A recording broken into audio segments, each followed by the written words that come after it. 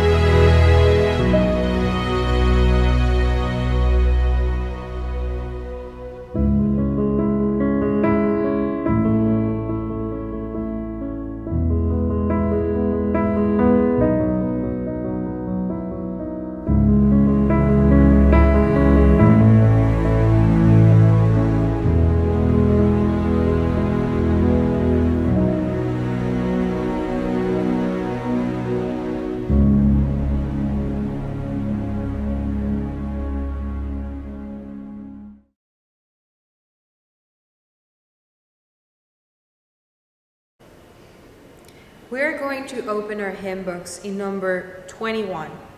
Hymn number 21 Immortal, Invisible, God Only Wise.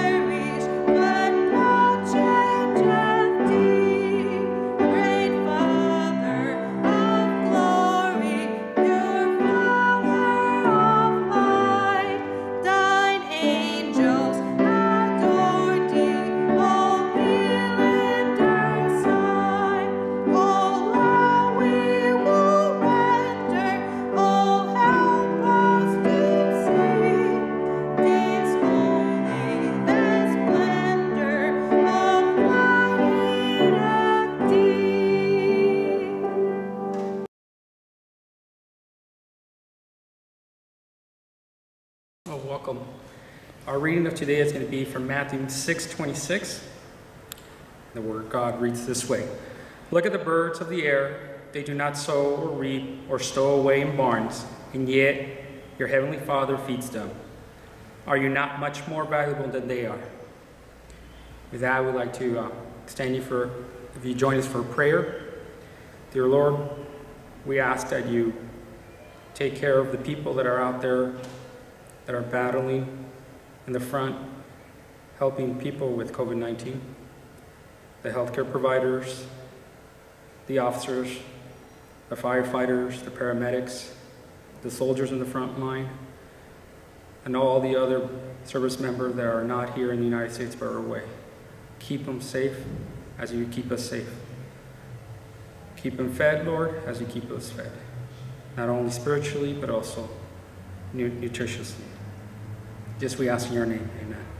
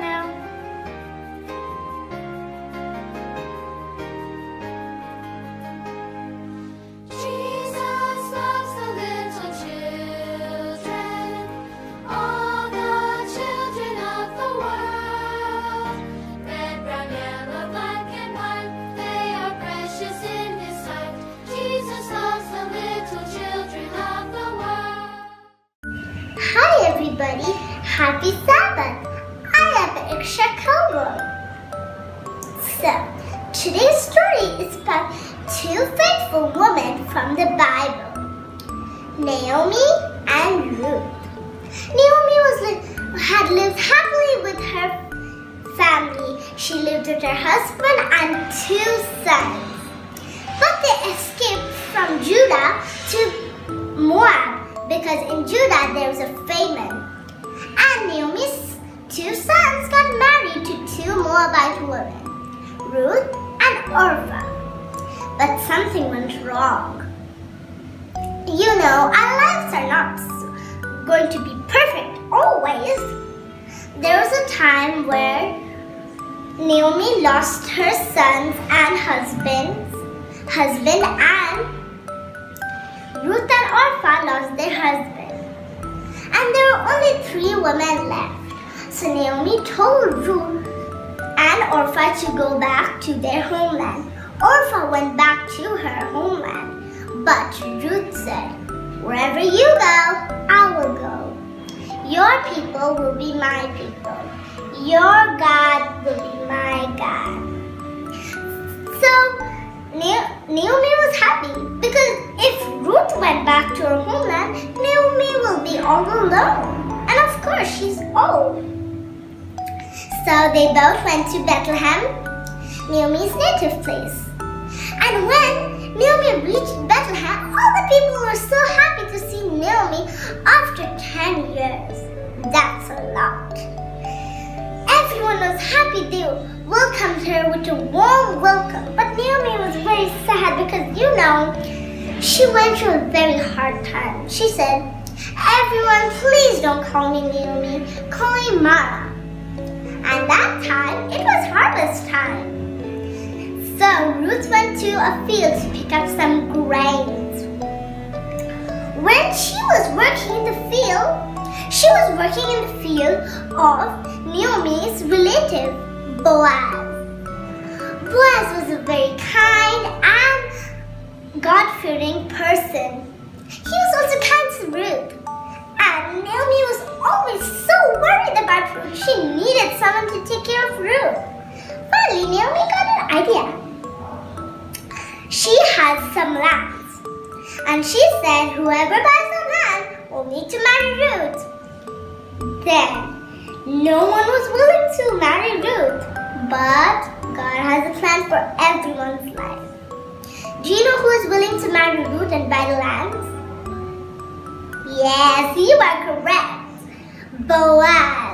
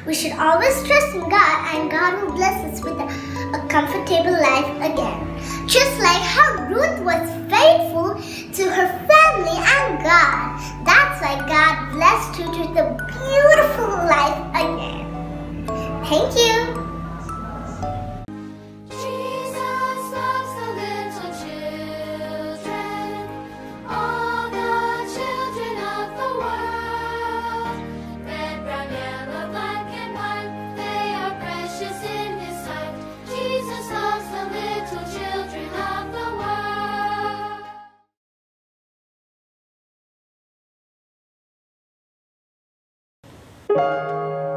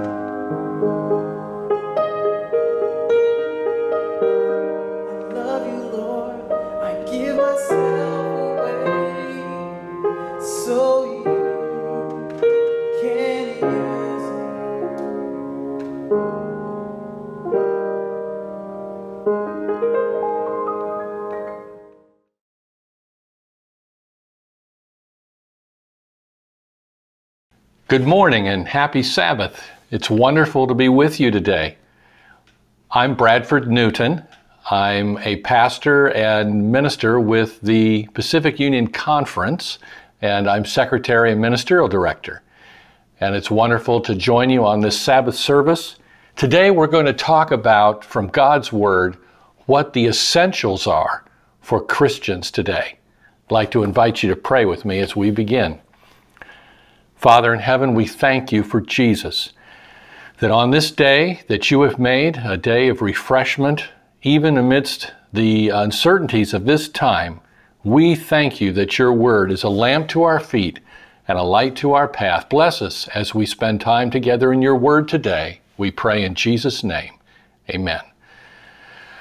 So, people are a lot concerned today, aren't they, about essentials? And we've seen all kinds of ways in which people have been uh, struggling and thinking about essentials. You go to grocery stores not too long ago, and you'd have shelves that were empty of things like toilet paper and hand sanitizer, even pasta and uh, things like ibuprofen, even for a while.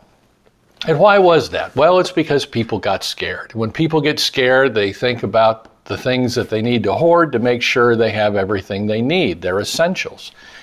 So, what are the kind of essentials that uh, we've been thinking about people needing today? Well, if you work in hospitals, people have been concerned about having proper uh, protective equipment like masks. And of course, we've all become quite aware of ventilators and their role in public health. But what about essentials for you? Are there the kinds of things that you need that are essentials in your life? Well, I thought about people, perhaps maybe you, uh, who have been furloughed from a job or are actually been laid off. Right now, the essentials for you are to be able to find food, to be able to have enough money to pay your bills, wondering about the day to day needs of life. Or perhaps uh, you're someone who's stuck at home and you are worried about your elderly family members. Or you're concerned about how you're going to educate your children because your kids are home with you and you're concerned about uh, their virtual education.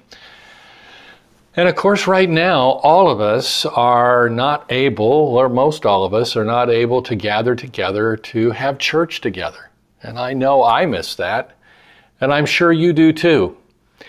But I'm reminded right now more than ever from the teaching of Scripture that the Bible tells us that the people of God are not a building, but that we are a people. That it doesn't matter if we're not able to be together, we're still the people of God and the church of God, whether it's connecting by email, by telephone, or by video like Zoom or other technologies.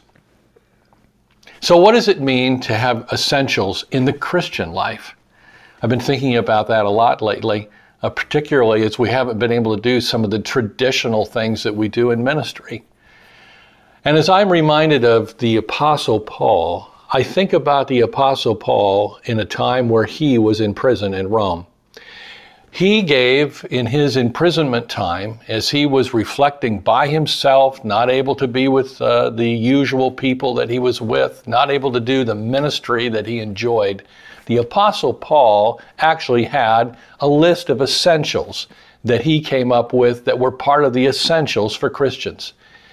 And of course, part of the essential business work of the church is to be doing uh, ministry and to be able to reflecting the character of Christ to the world around us. But to those Christians to whom Paul was writing, he actually gave in the prison epistles, as we call them, Ephesians, Philippians, Colossians, he actually gave essentials for the Christian life. And as I've been thinking about those, I believe that they have for us relevance today like no other time. and so, whether it's 61 AD or whether it's 2020, right now, Paul has a message for us. And I'd like to look at one of these essentials today one of the essentials that God has for us as Christians. And I pray that as we look at this together, that you will be blessed and encouraged in your own experience with God. We're going to start today by talking about the, what those three essentials that God has for us, and we'll only be looking at one today. And they are these Number one, that we need to know God's calling in our life. Number two, that we need to know our commitments. And number three, we need to know Christ. And so we're going to begin today with the very first one is to know your calling. So as you think about your calling, what does it mean? What is it that gives your life meaning? What is it that gets you up in the morning, that makes you excited, that makes you ready to take on the day? This is the very definition of your calling in life. Now, for some people, that uh, means success at the job, or maybe for some people, it's their bank account, or maybe it's their family, or maybe it's the kind of things that uh, uh, they do in their community. Now, none of these things are bad in and of themselves, but they really fall short of Paul's priority of God's calling for life. And I'd like to have you turn with me in your Bible to the book of Philippians, chapter 3, verse 14. And we're going to read what the Apostle Paul says is the essential work of Christians as we think about the times we live in today, and that is the essential of our calling, of knowing our calling. Listen to what Paul says in Philippians chapter 3, verse 14. We read, I press toward the goal for the prize of the upward call of God in Christ Jesus. So, from a prison cell, Paul, who had had all the other things stripped away, including his freedom, all those things are, are gone, and Paul is focused on what is truly essential in his life. And as he reviews this, he sees that what gives purpose and meaning to his life is this sense of calling, this upward call in God. So, my question for you now is what is this call? what does it mean to have this calling from God? Well, before COVID 19 hit the world, Pastor John Starke, who is a pastor in New York City, actually wrote a very interesting essay that I read on December 31st, 2019. It was in the Washington Post and it had the title Searching for Satisfaction and Self Worth in 2020. And then the subtitle was Add a Daily Routine of Prayer. So you can see why I became interested in it as a pastor here was an article about prayer in the Washington Post, so I read further.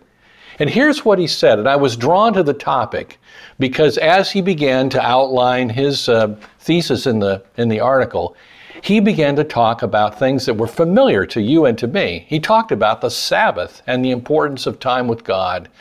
He talked about the emptiness that comes when all we focus on are the things that are temporary in this life like consumer spending and individual achievement. And then he brought it home to me in a way that was very meaningful. And I'd like to share that with you. And here's the quote from the article. He says, Humans have infinite desires. We're actually made for infinite, transcendent things. We have infinite desires, so it's no wonder we find ourselves fragile and frustrated when we look for those desires to be filled in finite, limited things such as work, achievement, and the adulation of others. As I looked at that, it considered to me that uh, this describes so much of our society today. By the way, did you know that 70% of our American economy is built on consumer spending? So no wonder we're in trouble when people have to stay home, can't spend, can't go out and shop and travel and give what a lot of people find is meaning to life by what they what they have through work or what they own. So it's not a surprise that the spiritual resources of people are beginning to wane. And sometimes even including church folks that can be fooled by the finite limited things when the desire for the infinite is actually hardwired into our DNA. And when that hardwired DNA desire for the infinite is left unattended, we're empty. So, Pastor Starke's appeal in the article, as he wrote at the beginning of 2020, was that it was through the practice of prayer that we become connected to the infinite, that we take our finite, our infinite desires and bring them to the only place that we can find answer. So, what does this have to do with our calling from God? Well, I go back to what Paul said. He said, I press on toward the goal of the high calling of God in Jesus Christ. The upward call is that consistently choosing the infinite for your life rather than the finite. The essential part of the Christian life is to begin to frame how you view your life, not around the things that are finite and temporary, but those which are everlasting and that go forward and forward all the way through eternity. And for Paul, this meant pressing towards the goal. It's interesting that he uses that word, pressing toward the goal, because, of course, what he's referring to is the fact that in our world today, and through the enemy of our souls that are out that is out there every day, we have to know that we have to press on we have to actually make the decision every day to choose to do this because there are so many forces arrayed against us to try to uh, keep us from living in that kind of life. There's a wonderful hymn that's entitled Take My Life and Let It Be. And it expresses the deep desire of every believer. And probably you remember that hymn. It says, Take my life, let it be, consecrated, Lord, to thee Take my moments and my days and let them flow in ceaseless praise. Have you ever wondered about who wrote that hymn? Well, I did. And so I went back and I got to know a little bit more about Frances Ridley Havergal. And she wrote this hymn in 1874. And this was an extraordinary woman of her time. Uh, she was a great musician, a songwriter, uh, she wrote and penned many beautiful hymns. And uh, I was particularly impressed by the fact that she was a Bible scholar. She was very well read and had studied in college the words of the Bible in Hebrew and Greek. Unfortunately, she passed away at a tragically young age of 42, but not before she had written 55 hymns, written dozens of books, and made a mark in life. But she felt that her calling from God was to share Jesus with other people. And she relates the story of how she actually penned the words of this hymn. She describes the fact that, uh, in her own words, she went for about a five day trip. She visited a home that had 10 different people in it. And she said that these people were either folks that had not come to know Jesus and were being prayed for, or they were Christians who didn't seem to have a whole lot of joy as they were walking with God. And so she felt a very clear call from God to pray for these people. And as she began to pray during the time that she was there, she began to share her faith with them. And she declared that God answered her prayer. And to put it in her own words, she said, Everyone in that house was praising God and receiving a blessing by the time that she left. Here's what I love about this story. She said that the last night she was there, she couldn't sleep. She was so excited about praising God for what He had done in her witness and in the Holy Spirit working in these people's lives. And she says, as I began to recount what God had done for me, I realized more and more that these words began to form together, these couplets that became this song. And as she literally wrote the hymn, as she was lying awake in bed, uh, praising God, and she said it all ended with that wonderful phrase, ever only all for thee. And of course, you remember the song as it ends, as many of us have sung that song at church. Take my life, take my love, my Lord, I pour at thy feet its treasures trove. Take myself, and I will be ever only all for thee. See, I think Frances Havergal had something there. She understood what the upward call of God meant for her. It meant placing every part of her life at the feet of Christ. Is it clear in your heart today what it means to have the high calling of God in your life? Does it make sense to you to be able to put everything before Him so that the paths before your life are clearly led by Him? Now, I do know that uh, whatever the circumstance you're in right now, God has a direction and plan for your life. And really, all you need to do is reach out in faith and accept that and to watch God work. Now, I know maybe at least one person hearing me right now is saying, Well, Pastor, I absolutely do not see any of that. My circumstances are grim and I don't really know how, what the future holds. I want to encourage you to hear the Word of God when He talks about how we can, first of all, claim and obtain this upward calling in Christ. And so I want to share with you uh, three texts very quickly that help you know that God's going to take you through these circumstances.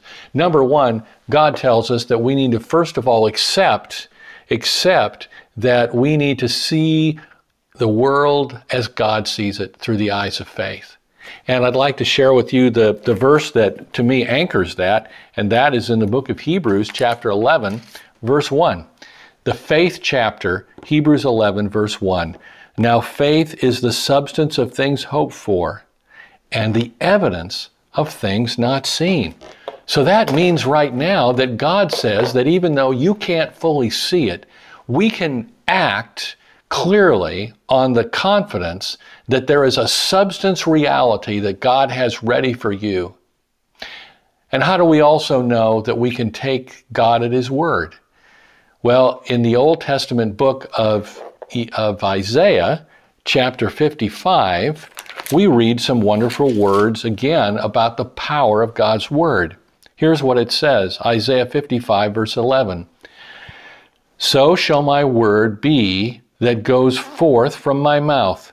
It shall not return to me void, but it shall accomplish what I please. It shall prosper in the thing for which I sent it. I love the fact that God uses the very same word here in Isaiah 55 that he uses in the book of Genesis, where God says the earth was without form and void, and then God speaks and something in reality comes to place. This is the same word that is used in Isaiah 55, that God says that his word that goes forward, that God's word will not return empty. So that means when God says that he is calling us to a calling that is higher than ourselves, to press forward, He's promising the resources to ensure that it happens. And so we don't need to be uncertain. And of course, we also know that wonderful promise that God says, thirdly, that there's a guarantee from God. God says, He who began a good work in you shall bring it to completion until Jesus comes. Isn't that fantastic? To know that God is in charge of every circumstance of your life. The Christian essential that we begin with in this time and place now is the essential of knowing that God has a calling for you on your life. None other than Ellen G. White devoted most of her writing, I believe, to this central subject of the high calling of God in the life of Christians, this Christian essentials. And she actually wrote a book, uh, and there's a compilation of her writings called Our High Calling. And I found this wonderful couple of sentences that are to me a great encouragement. She says, God will be to us everything we will let Him be. Learn the trade of seeking the rich blessing that God has promised. Did you hear those words? That God will be to us everything that we let Him be. And that He calls us to, she uses the word trade trade like it's an avocation, it's the way we live our life.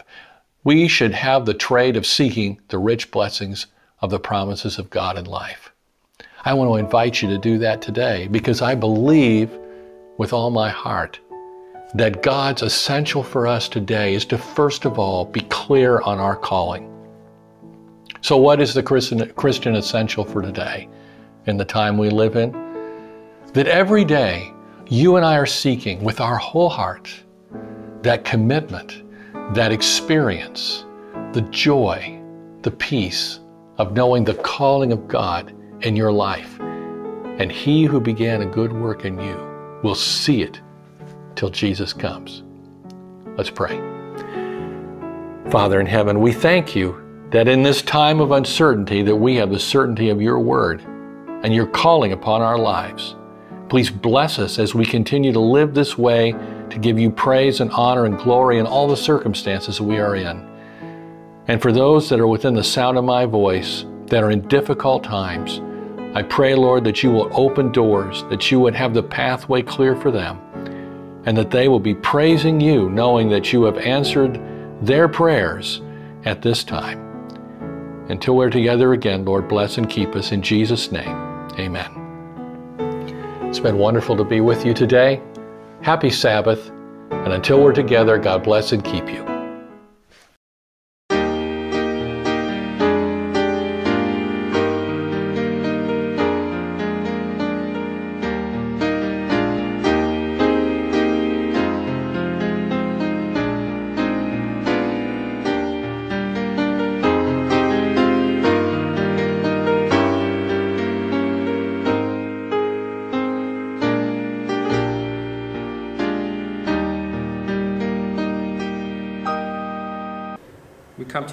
For the offerings.